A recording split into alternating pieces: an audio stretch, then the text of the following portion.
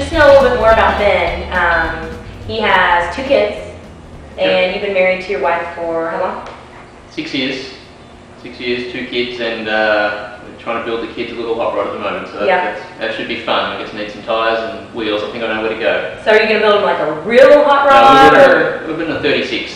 a little small one, something they can fit Yeah, into? 36. Yeah. We do have we do have some tires that we sell.